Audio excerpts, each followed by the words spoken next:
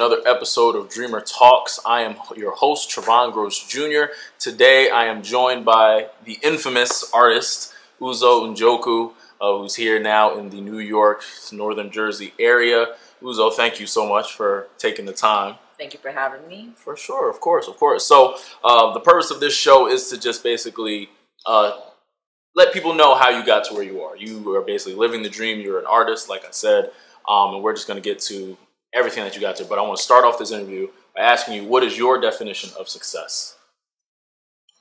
Um, success is getting to reaching your goals and being mm-hmm. happy while doing it. Mm-hmm. So, how do you? How have you found happiness in what you're doing? Like, what what is the source of happiness for you? Um, I think it's kind of just how the public receives what I create. So that's happiness for me. Mm-hmm. Um, little mi- milestones I create for myself, I am reaching it. So I would say success is going to be different for different people. It can be something small, mm-hmm. like a weight loss challenge, or it can be mm-hmm. something big, like buying a new property. You know, so yeah. I believe success is going to be different for different people, but it's something that you reach or something that just makes you happy. Right. So tell me a little bit more about like your said that you created milestones for yourself. Like, what's that process like for you? Is that like a sit down and you know you write them down, milestones that you want to reach? Mm-hmm. Like, tell me a little bit about that process for you. I don't really plan as much when it comes to ideas that I have. Mm-hmm. It's kind of like if I have an idea, I'm gonna start planning for it, and I just go I go at it. And I'm the kind of person that prefers to learn along the way versus sitting down and wondering what if. So as I am going in, I will start making small milestones, and as I'm reaching them, mm. and sometimes those goals or milestones can shift, you know. So that's right. I prefer dynamic goals. Gotcha. So just to make sure I'm understanding correctly, it sounds like rather than you say, you know, you create a big milestone for yourself, you rather just create smaller milestones, reach those, and then, like you said, they're dynamic. They're always changing based on exactly what's going on. Exactly. So tell me a little bit about just your journey of how, like, what milestones got you here how did they change? Like, tell me a little bit about just your journey, how you got here. So I came to University of Virginia at first to study statistics. Um, mm-hmm. I liked it, you know, but I didn't love it, and I knew that if I continued down that path, eventually I would quit. So then I took a year off, and I just started painting for my dormitory, like my hostel that I was staying at, mm-hmm. and I posted it on Facebook, and people were just a little bit more supportive. They're like, "Oh, this is great."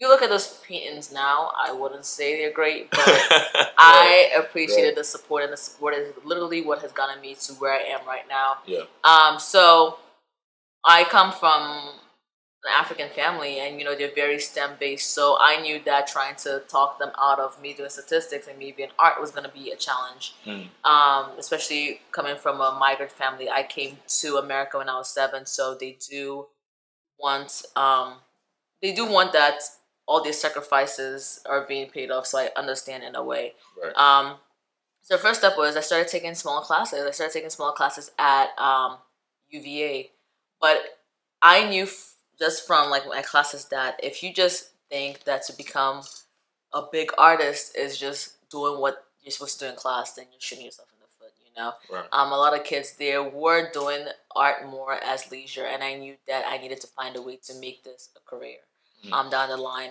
I started myself reaching out to galleries, but they started saying no, and it's okay because that was kind of like brought me to the reality that I need to have bodies of works outside of school. I need to have a cohesive body of work, and so during the whole school program, I was trying to figure out what what is my style, what do I want to achieve, what do I want to express. Mm-hmm. Um, and with doing so, I need funding, need funding for equipment, um, research, things like that. And I kept applying through the school and I kept getting denied. So, um, and then what happened, I think it was 2018, the class I came with, everyone graduated. So I was yeah. just stuck in campus. Mm-hmm. I applied for um, gallery internships, all this stuff, and I didn't get it, you know. So I started working at Boar's Head Sports Club. And I just had, you know, had a summer of just working at sports club. So I said, okay, I need to do something productive while I'm working, you know, because mm-hmm. I was behind the desk. And that's when I had the idea that, okay, I'll release a product, I'll release a coloring book, you know. And so as I hmm. started thinking of the idea, I started looking up do I want to go through the journey of looking for publishers that route, or do I want to do and um, publish it myself independently? And so I did my research, and then I started I posted it. I posted on um, Instagram. I said, guys, I'm gonna publish a book. I give myself a month, and every day I was putting in images and I was updating everyone on social media and everything. Right. And then I was like, okay, so how do I publish a book without money? Yeah. You know, and so Yeah. that's when I went and I put the book on pre-order, and it was I think it was in August, and then that's actually when I actually registered Uzo Art LLC, the business, because I needed you know to protect myself. Right, you know, I, I don't I didn't really know the ten nine, but I just needed to Mm-hmm. um, protect myself, and so. I put on pre-order, and our first pre-order we made over a thousand pre-orders, and so that Wow. was like the first. I, I didn't realize so many people were paying attention or looking forward to the book. Yeah. Um, the book was basically just um, exploring femininity in all aspects. You know, the women who are in the corporate world, women who are cooks, entertainers, women who are mothers, and that's what femininity is to them. And so that that's what that book did. It explored that and told the story as well. The school picked it up. I guess they loved students who do Right. projects Do yeah. you know, yeah, and yeah. then so did the local um, news channels. I started, I was on CBS News. Then I was on, you know, the school started doing um, interviews on me. And then I started reaching out to independent bookstores all over town to get my books in. So I started Mhm. learning more about creating relationships with bookstores. And then I started um, reaching out to, I was like, okay, bookstores. I reached out to a few bookstores regionally. Um, one in Texas, um, LA, trying to reach like a big cities, New York. I was like, okay, museums sell books. They have like you know the little gift shops, and so I started reaching into museums, and that was kind of like my first big product. And then, I- you know, I was here, you know, I have an extra year here, and I didn't want to spend my last semester here, Mhm. and so I went to London, and my idea was I was gonna open an account over there and establish myself internationally um, for the books I can be able to sell regionally. It didn't really go as planned because I didn't realize the coursework was going to be so much, Mhm. or the weather was going to be so depressing. You Yeah, know? but it's so always raining over there. it was stuff. raining. It was just depressing. So I was Yeah. learning a lot about myself. Like, okay, I don't like this kind of climate to create, and Yeah. you know. But that was when, when I came into London. In my head, I kept saying, because I just finished my thesis show the semester before. I'm a painter. I'm a painter. I'm a painter. So I came into London, um, University of Arts London, which is like number six in the world. I don't even know how I created that um, relationship to get in, and it was just such a different dynamic. Um, I would say American education system for art is more, you know, you come in, you take drawing, you take um, watercolors, you take you take these different classes, then you build up into oil paint. And London, is different. They want you to be multidimensional. They want you to do as many mediums as you want, as long as you're approaching your thought process, um, your body of work. And so I would say that when American students leave um, the undergrad system, they have body of bodies of works, but it's more academic. It's what they've done Right, for classes, yeah. but they don't have a cohesive body of work because they're busy fulfilling what their Right. teachers want. Versus in London, I would, but I would say their skill set because of they're so focused on the technicality is more precise in America. Um, and then I would say in London, it's more they do have cohesive bodies of works and they approach it from different ways. But when it comes to technicality, I would say that it's not it's not as adapted Right. as, yeah. as so, as so let me ask you this because I feel like right now you've covered so much. There's you, so you learn so much about yourself as an artist. You learn about yourself personally, like you said, in terms of like knowing what environments you Mhm. know you work best in. Tell me a little bit about just that mindset. Like, how were you feeling when you know, like you said, you had to explain. You're trying to explain to your parents, like, look, I want to do art, right? I know that you guys put in so much sacrifice for me, and you want me to do statistics, but you know, my heart is in is in art. That's what I'm into. And then you said you run into the obstacles of you know funding and things like that. Mhm. and then you know you find all the success with the coloring books. And now you know you basically go from coloring books to where you're known locally nationally. Now you're on basically an international stage like you said going to the number six art school in the world. Mhm. like tell me that like does that when you were i guess when you were at in london did that ever like do you Oh, think like about that all over often? yeah. Um, I would say I had to just kind of persevere because with my parents, they didn't talk to me for a while. Mhm. Um, they cut me off school fees, so I remember that semester that I switched. Um, I was having a whole battle with the school trying to not get kicked out because of I didn't have the funds. I didn't have the funds to pay for I'm a hostel. I didn't have the funds to pay for anything, you know. Mhm. And I did. I don't know if anyone remembered, but I did have um, a small mini show in um, Charlottesville. I did it by myself. I had a jazz band, students that did a jazz band. I had my friends come and waiter, and I painted for that show. And I would go on foot throughout Charlottesville and hand out cards saying, "Hi, come, come, come, come." And we did Yeah. sell works, and I was able to make a little bit of money to keep me Right. and not get me kicked out. So that was Right. like it was almost like in that very beginning, it was I was painting, but I was also like fighting to not get kicked Yeah. out. So it sounds like you Um, were you were almost like painting to survive. Yeah, you know, painting to survive in the beginning. Yeah. Um, or just and I was working a lot of odd jobs. Um, Mm-hmm. and then what happened? I eventually couldn't afford where I was staying anymore, and I found a woman. I think she was ninety five, and in exchange for being a CNA for her, I got to stay in a room. Yeah. And so that's what I was doing. So I was painting, I was working, and then I was also working for her. So after I come back from classes, I would work from 9 p.m. till 7 a.m. Wow. just staying up Yeah. and taking care of her. So that's kind of like there was just so much backstory with getting into where I am, and I think that's kind of made me fight harder and being able to stand up for myself. So um, when people tell me no, like someone else is gonna tell me yes, you know. Yeah, so I just kind right. of have kept that mindset going um, forward.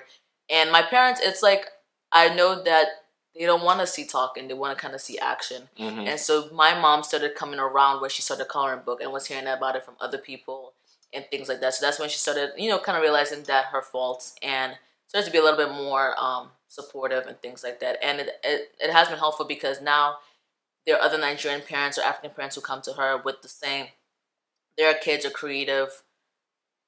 Should they let them continue to be creative? And she says, yes, like, you know, Yeah. she's definitely done a whole 180 on the whole subject of allowing your children to do what they want to do and not stifling that um, creativity, you know, either creativity um, or athletic to, um, athletics too, because Yeah. African parents do have a habit of wanting their kids to be more in, um, you know, career field STEMs versus when the kid is actually very good at good at sports, they're not else, gonna invest in that for their child. Mhm. So that's like a whole topic and Right, right. to go But it sounds like even you know with all the things like you said to do, like you said, you were hustling, you were a CNA, you were painting, you were doing school and everything like that.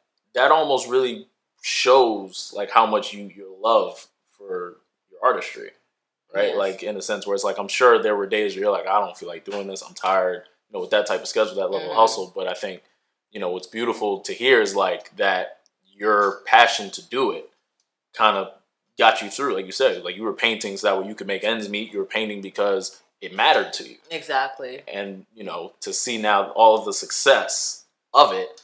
Like I'm sure that's like you know is that that has to be mind blowing. I can imagine.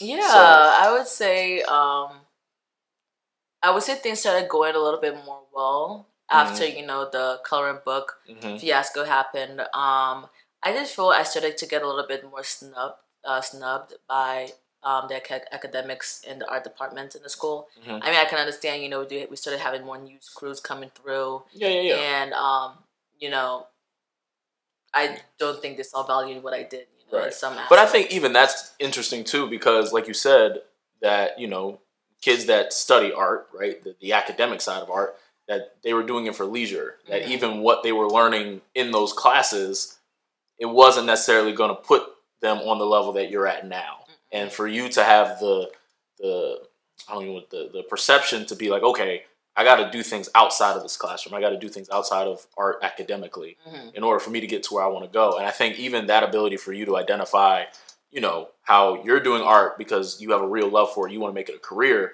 versus, you know, the people that, you know, they might be good at it, but they're doing it at a leisure. They're doing it at just just cuz. exactly. And I think that's like a real uh, defining characteristic and it's easy to tell people that are doing it because they truly love it versus people that are kind of doing it just cuz whatever, at a leisure, right? Mhm. So, tell me a little bit more about uh, the success of things, right? So, like when you were going through all your obstacles, did you ever imagine yourself like being in the position that you are now? No, because um, like I said, back in London, it kind of changed my perspective because they tried to get me to stop thinking I'm just a painter, I can do anything. And London had a very um, concentrated amount of craftsmen, so I started meeting people who were leathers bags makers, people that make lamps, wallpaper. They so many craftsmen. I met a guy who made grills in the school, like you know, Mhm. you made jewelry making. So I started meeting so many crafts people that screen print and they just did so much besides just draw on piece of paper or paint. So that was like a very defining moment, and that's when I learned how to um, start making rugs. You know, and then that's when I started for the. We actually had a group show, and it was different because the group show we went into was a very crowded, rundown club, and we had to place our art within there. And I was so used to just creating art to put on a white wall, and so do, those points. It's very important to kind of how I how I got into where I am right now. Yeah. So I came back hoping that I would get a fellowship. Again, I was snubbed and I didn't get any awards. I didn't get anything. Mhm. Um, but you know, I guess things work itself out for a reason. So I just dropped everything and I went up to DC. I said, let me just get out of Yeah. the country, just go to DC. Right. I didn't have a plan. You know, I got an apartment. Um, I was living paycheck, paycheck to paycheck. I was um, working at Michael's and I was nannying. And because I was doing so many odd jobs, it I didn't have time to create. And then I realized Mm. how important it was to be in that art community because now I didn't have a studio and Mhm. you can't paint oil. All these things I'm doing, you cannot paint in your apartment, especially at um, you know the kind of buildings I was living living in. So Mhm. for a while, I wasn't creating, and I started to get depressed. Um, and so then I I remember I had like six hundred fifty dollars in my account, and I saw an iPad on on um, Facebook Marketplace for like six hundred. I was like, and this woman was asking me to do a commission for her. I think for a business, a logo, and everything, and she would pay me eight hundred. I was like, okay, I can make my money back, Right. a little bit of my money back if I do that, you know. Right. And so I just bought the iPad, you know, and I started learning how to work digitally. And a lot of um, you might meet painters, but a lot of painters don't know how to work digitally, and a lot of digital artists don't know how to do paintings. You wow. know, Yeah. and so because I wasn't painting for a while, I started teaching myself how to do digital works, and I would learn through Procreate on an iPad, but then I also started forcing myself to learn Photoshop, um, Adobe Photoshop, and Illustrator. And how I would learn is I didn't read the dummy books, I didn't read the videos. Um, I started taking small commissions and making small money and forcing myself. It took longer, but because I was learning my style, you're gonna use only specific and certain tools that make sense to you. It doesn't make Right. sense trying to learn every tool if you're not gonna be using half of them. You That's right. understand? So Facts. that so that's how I started doing small digital works, um, and then just small prints and Yeah. everything. And then um, this man in London reached out and he wanted to buy um, a canvas. You know, I didn't realize that we were on two separate pages. I think he thought it was an actual painting that he was buying for six hundred, not a canvas print. You know, so he received it. He's like, "Oh, I thought this was a painting," and I was like, "How would I sell you a painting for six hundred? You know, and he started laughing, and I just kind of explained um, my situation. I don't have a studio and everything, and he worked in the oil field, but he goes to auction houses. He goes to everything. So and he seemed to be very knowledgeable, and I we talked and I was like, okay, how would you like to represent me? And so ever since then, he pulled in money and started paying for my studio, Wow. and that's what I was using. That's when now I had a studio, so I was a little bit painting more. So things were like a little bit, you know, I was creating more. yeah. I was, but I was still kind of digital on the digital edge as well. But I was Mhm. still painting, but I was still working. Right. And so things really changed um, um, when COVID hit.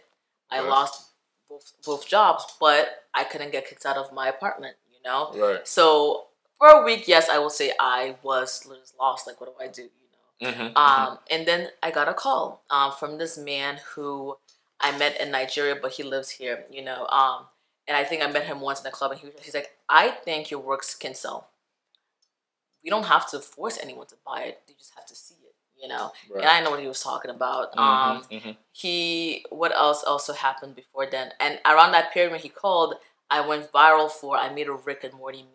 So how That thing was hilarious. That Okay. meme was hilarious. I was just I don't even know how it's the most random thing and it blew and so like with the coloring book, Mhm. people like, Oh, we made a coloring book. Are you still gonna start making more? I was like, No, I'm actually an artist, you know. yeah. With the meme thing too, can you start making more memes? No, I'm actually an artist, you know. I Right. actually don't do like you know, they're trying to commission me for memes. Like, That's not what I do, I actually paint, you know. Right. Right. Right. So I was trying to do that, and he called at the right time, and he was like, "We should push out prints," you know. And so I had more time, you know. I'm not working anymore to research manufacturers to call and get samples made and everything to see what works and how to reach a niche price point that people don't have to think twice of do they want it. Yeah. So that's how we came up with the idea of twenty dollar prints. Yeah, um, twenty dollar small prints. We found a manufacturer that worked for us, and that's how we started. So of course I didn't believe him. So he said, "Okay, I'm gonna put my money into ads for a week, and we're gonna make double that." And he did, and we made triple that. Wow. You know, awesome. and so he's uh, so I put him on, and he started doing the marketing for us. And then we started expanding, and of course, I knew I didn't want to just do prints. And then during that time period was the summer during um, Black Parade, um, Eric Garner, like you know, the yeah, Black yeah, Lives, all, right, Black right, Lives the Movement, and and stuff. all of a sudden there was a sudden heavy gaze on black artists. Um, it's nice that there was a gaze, but the truth of the moment is still artists were being exploited because those price points, if they if some artists were not so eager to take it because a huge brand like okay, I don't want to say any brands. Okay, let's say like Yeah. a huge brand which is out. If you actually sat down and asked other white artists how much they're getting paid for the same opportunity, they were definitely getting paid a lot more. You yeah. know, but you were getting an opportunity. It, it you know it was nice, and I knew that I was now getting a lot more sales that would have been normal. Mm-hmm. And so now I was thinking, how do we keep our customers? I can comfortably say that um, based on you know Shopify and the program we use, we have a 89% retention rate. So we That's have awesome. people that come back a lot. And so we started doing that by brand and then at brand identity. It's not just putting artwork in the mailer, it's creating the whole experience. We started we made the whole art um the mailer artwork too. So when you get it, you know that's Uzo art. We Yeah. received that. We started doing candles, um, t-shirts, um, just exploring phone cases, um, just Now, where did you where did you learn all this? Like, I no, no, I don't. Sorry to cut you off. Like, where did you learn, or at least get the idea? yeah, get the idea? Like, okay, let's start. Okay, That's when London comes in yeah, because they didn't just paint. They didn't just do one thing. Mhm. They were so good with trying other things out. So because of that mindset coming from London, and I remember I just knew that I can do anything I want. It's just research and figuring it out and Right. find, like you know, it's just doing research properly. So because of that mindset of they want you to be multidisciplinary, Mhm. that's kind of how I started approaching things. yeah, That if I want to do that, I can do it. right. And so it sounds like at each point, you know, you you receive like a bunch of no's to like that one big yes. Yes. That's that, that's, that's the trend I'm hearing. Mhm. So you know, you go through where you know you identify art as, as your passion. You hear a bunch of no's, you get that one yes with the coloring book. Hear a bunch of no's, yes, you're in London now. hmm And then even in London, you know, you that's success. I mean, being at the number six, you know, art school in the world, I can imagine that success, right? But you still hear no's to, you know, like you said, you feel like you got snubbed in some areas. Exactly. To then you receive a yes from, uh, The you know, studio. just yeah, the studio. Mhm. Like, and you even through COVID, like you kept moving things forward. Like you said, like you know, you you didn't have uh, the ability to paint and things like that when you didn't have a studio and things like that, and that you developed the press. But then you kind of pivoted to let me get into digital. Yes. And like you said, even that dynamic where painters aren't really good with digital and digital people aren't good with painting, it seems like you really bridged that gap to where Mhm. now you're very multifaceted and now you're kind of back with painting and it's like, well, I can do a little bit of everything. And then, like you said, the mindset shift exactly. that London provided for you to just kind of take yourself out of that box Exactly. of London. That's incredible. like for because like that's not normal. I think even um, when you talked about the story with the iPad versus um, taking on that commission, that's a risk that a lot of people wouldn't take. And I think that's what more dreamers should do is take those risks because at the end of the day, I mean, even with all the work that you have been doing prior, Mhm. with you know just hustling, get into it, making ends meet, you're painting under pressure. And it seems it sounds also that like basically you perform well under pressure. Like you said, you learn Yes, the, the photoshops and you learn all the illustrators and everything like that under pressure. Like you didn't try to be like, all right, let me read a manual or nothing like that. You were just like, nah, I'm just do it. Exactly. Like what is like so tell me a little bit more about just that fearlessness. Like just now that you you know you said London gave you that that mentality of that you can do anything. Like what other areas has that really applied to in your life in the sense of like is it just like in, outside of your career?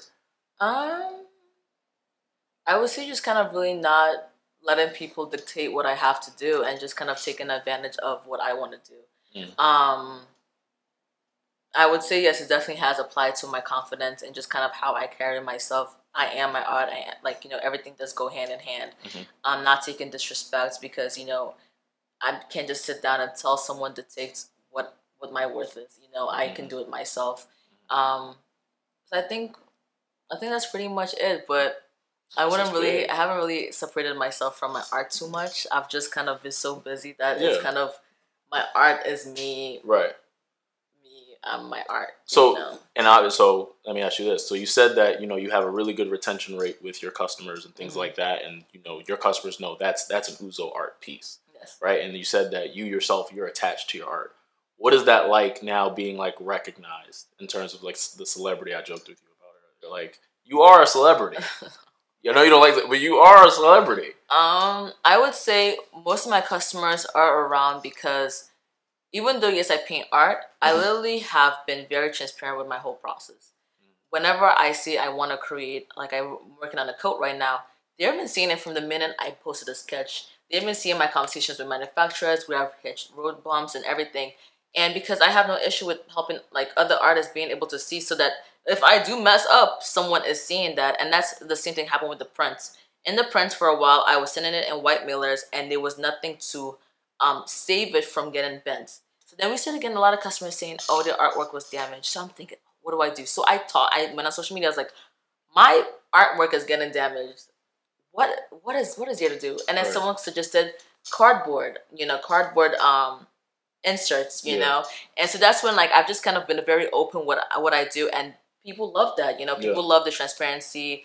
Um and it's just good that like I said if I ever if I go downhill, everyone knows at what point right. I went downhill yeah. and what happened. It's not anything in silence and everything like that. And so I will say that um, I guess the personality I do show um, has definitely also helped as well because sometimes I do go viral for the most random things. You just, just went, went you know, viral. Just, just, talking about my family, just talking yeah. about everything. Um, and it's nice because whenever I do talk to um, people in the higher up art world, say it's nice that you have a personality. It's nice that you're a little bit more approachable. You know, mm-hmm. Um, sometimes it, get, it does get dull for them to deal with artists who are very talented, but it's very hard to have conversation with them or you know, introduce them to more bodies of people and things like that if the artist themselves is very closed off.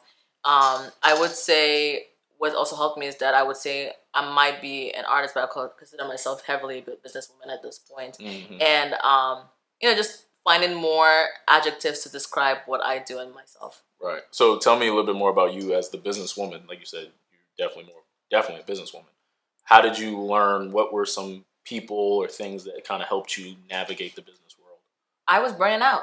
You know, um, during that summertime, I was burning out, and I knew I needed help.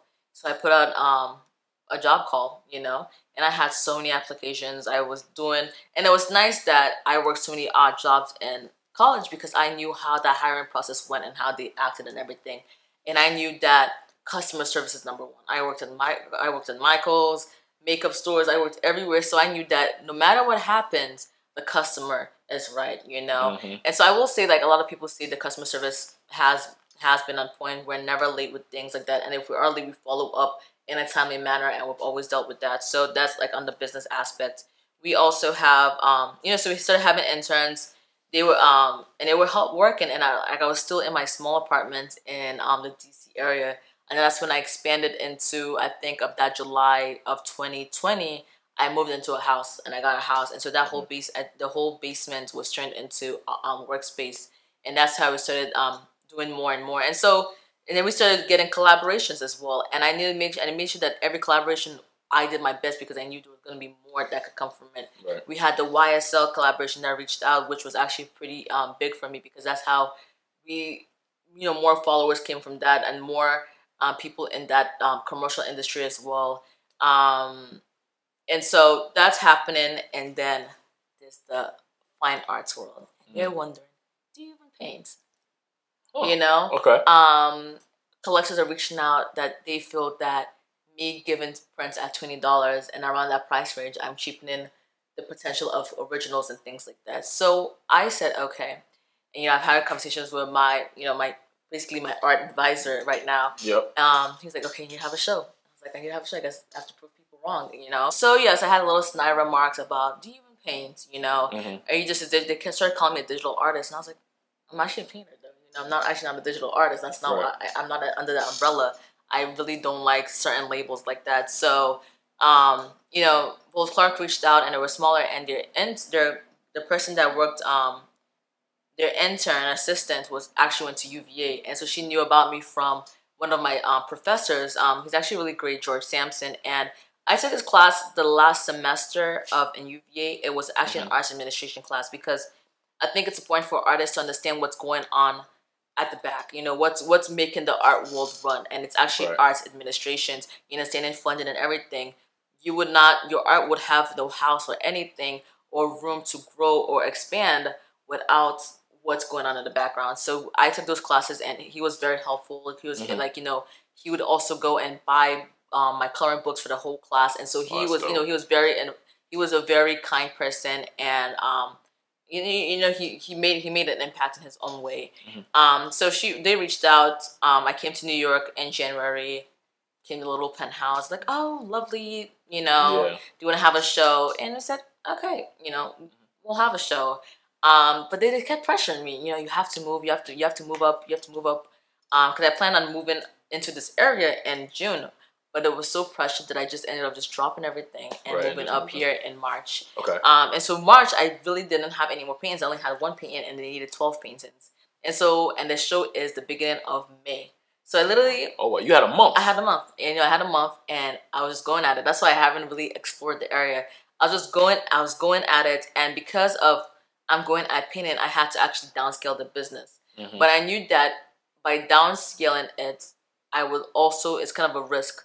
Might downscaling it and the potential of not selling any artwork. Mm-hmm. But we knew that from as I was creating, I was like, yeah, like I started getting the confidence in really painting again yeah. and everything. As I was, I was like, yeah. so it's almost like that iPad decision again. Exactly. You know, I'm I'm really downscaling right now. You know, I let off the marketing, I let off things, but luckily every day we have in sales.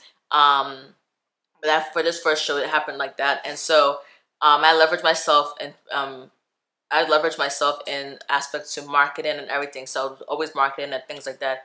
So the show happened, and um, before I got there, were things were already selling, and I, you know, I came in there and it was packed. I've never seen so many people, and people, and it was, and I had, so I had a lot of things to prove with the show. It was one that they people were telling me that because I was selling prints, that the original would not sell, but I so I there was only one artwork there that actually was already selling prints for that was the first to sell. So really? that, that was the first to sell. Yeah. You know, so that was proved wrong.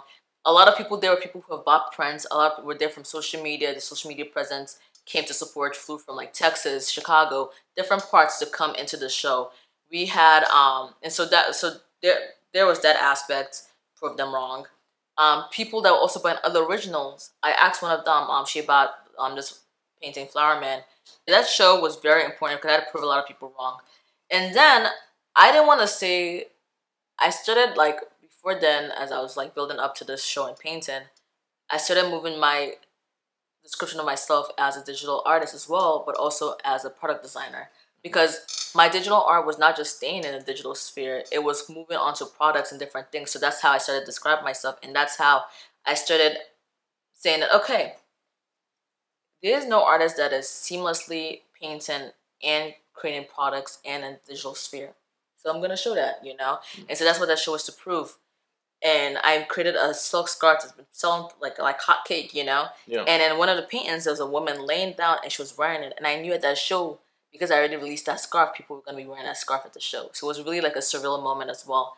We made um in the there was this first print I made called the neighborhood. I've been making a neighborhood series as shown here. Yeah. Um, in the first painting, um, there's a woman wearing a coat. And so, in the next painting, the and that scene was actually in DC where I was based in originally. So the next painting I did was a huge, the biggest painting at the show, and it was of Brooklyn because now I am in this area. And so what I did was the woman, the woman in the corner first painting, I brought her out, and she was now wearing an Uzo, like an Uzo art jacket with my prints and everything. So I yeah. brought it out, so try to play into yeah. back into it. In the painting, you um, and then I wanted to also have a comic feeling too. So in that scene you've seen the neighborhood, you've seen a you've seen a night scene. We also expanded into one of the windows and told a story as well. So the, the public loved that. Um, we would also place little things like in one of the paintings, um, a, in the painting there was a scene. A woman was in her house. You saw her with a painting, in the painting, but that same painting was already out. It was also yeah. one of the paintings on the wall. So you really integrated like everything. I really integrated everything. Um, I made wallpaper, and in the wall, and that wallpaper I created, put on the wall as an installation, where I also painted on a painting. And yeah. the girl in there was wearing a UVA t-shirt, but she was also sitting on a. She was also sitting next to a, a armchair, which I also made as well. Yeah. And she was on the rug, so everything that she was surrounding herself with was also brought out in real life. So that wow. whole, sh- and so that show, and because that now I would say I am financially stable, I don't have to stick to one style. I don't if it doesn't sell, okay, you know. Right. The business is doing good, I'm comfortable. And so because of that, it allows me to explore so many different styles that low key it does come together because of how I pick my colors and things like that. Mm-hmm. So it it does allow breath and eye movement and everything. So that's and also how I place the show and everything. I wanted that let a random bystander walk by and look at it because especially since I put the installation all the way into the back, but then in the beginning I had the coat mannequin. Mhm. What is going on in there? Right, what's going on? And yeah. so because of that, we had people like the um, CEO of um, the former CEO of Sotheby's stopped, and and so many opportunities have been coming in just from that show. Mhm. Daily Paper stopped, and so many people stopped in from that show. So that show was really um a like a huge moment for me, and so that happened. I'm exhausted, and then Dubai comes again says, Right. "Don't forget about us." And so the show, and because the show did so well, they asked me to extend for another month. So that happened, and another month is extended in New York. But Dubai's reaching out saying, "Guy, hey, right, we what's up with need, us? We need paintings for you too, you know. Um, so then I had to push out another twelve paintings, which Mm-hmm. I just finished. So I literally haven't read and, and to tell an artist to paint twelve paintings in almost a, in a month is It's- insane. yeah. It's absolutely insane, you know. So I have been killing myself, but I will say that, and in that time, I've also had people reaching out. I've had um Starbucks reached out. I've had candle companies that you know they want to work together, but I'm so deep right, into yeah, painting. into the so right now. Yeah. I do know those opportunities are there because how I would speak is I would present myself that not right now. Right. Reach yeah, reach I would say that you, I'm sure you've really learned how to manage exactly, so much. Like, and I'm I sure have you manage your time extremely well. exactly, and I have um you know I have uh, an employee now, employees now that are still coming and helping me, and now I have the funds to like you know every like people or not people are now working for me, and we're now really expanding into um clothing because it did so well. It was like, so when is this jacket coming out? And I Yeah, was like, yeah. I might as well The jacket's very I might- nice. thank too, you. I might as well nice. do a whole brand. And so, um, the Dubai show, we're done. You know, Mhm. I somehow managed to squeeze and Tommy Hilfiger reached out for a mural. I don't know how I did it, but but it got done. I got done. You know. So then, at the same time, like I think a few days ago, I released the Tommy Hilfiger mural, which is in Brooklyn. Mhm. Um, and then the show is now up and running. Mhm. Um, and so that's kind of where I am right now. Right now, clothing, it's expensive. yeah. I'm pulling all my money. I'm getting in loans, and now we're about to do. Um, I'm trying to really sh- prove a point now in clothing as well. hmm Um, I'm creating patterns. I'm creating my patterns, but I want to kind of show an experience, especially proving being able to create a product, but you also presenting that product in the painting. Yep. So we're having a pop up shop in DC. I'm going back to originally where I started. That's dope. Um, you know, and which is really great because so many UVA pro- uh, Mhm. professors saying, yes, Yeah, they, that- can, that they, can come to DC. They Mhm. can, everyone can make it to DC. Um, and so we are um, in the show. I'm creating big paintings with models wearing the coats, right. and then you're gonna like you know it's almost gonna be a whole experience as well. So I have so many plans. And originally, I came here to actually do my master's program. I actually came here for two years, but you know I'm having issues. Yeah, but say uh, when things are moving the way they're moving, know, things are moving away. tough. So I guess I'm not doing Right. school right now. That's real. That's doing the business, and that's kind of where I am, and I love what I do. So yeah. That's awesome. That's amazing. So the, the last question I have for you, uh, Craft Your Dream, we have three core values. We have clear vision, 100% effort, and consistency. We believe these three these three things are essential for anyone to accomplish any dream and goal that they have. What are Uzo's core values? What are, what are like three core values for you that has gotten you to this point? Research, Okay. not just vaguely. You believing that all you have to do is just talk to the right person for research is very lazy. Mhm. Um, like you know how people say sometimes they rude away Google. Google is really your best friend, but it's it's how you utilize Google. You have to know what answers, what questions are you asking yourself. If you know how to form the right questions, you will find manufacturers. You will find what you're looking for. You know. Mhm. Um, so research, um, kind of just going at it, you know. Mhm. Um, you don't know what would happen until you fail. Mm. You you don't know, you know. You can't sit around and wonder what if, you know. Gotcha. And then also having the idea that things can always be improved. You know, that's how people like Blockbuster are out of business. You know, this Right. kind of kept the one same model. Always be open to improvement. Always be open to feedback and uh, Mhm. and right now, people asking, "Oh, your paintings are so great. This is it." I was like, "I don't know. You know, I don't know if this is it. You know, I'm always open to, um, you know, improving, changing my style. Anything could happen. You know, and once you have that mindset, you can literally do anything." That's beautiful. That's awesome. Well, Uzo, this has been amazing. Um, congratulations on just all the cool things that you're doing. Um, because this is incredible. Absolutely incredible. I mean, during our time at UVA, I saw a little bit of how everything is. To see you here is absolutely unbelievable. So congratulations for real. for having me. But guys, that is a wrap. We'll see you guys on the next episode. Uh, 10 Craft Your Dream events, and we look forward to seeing you on the next one. Peace.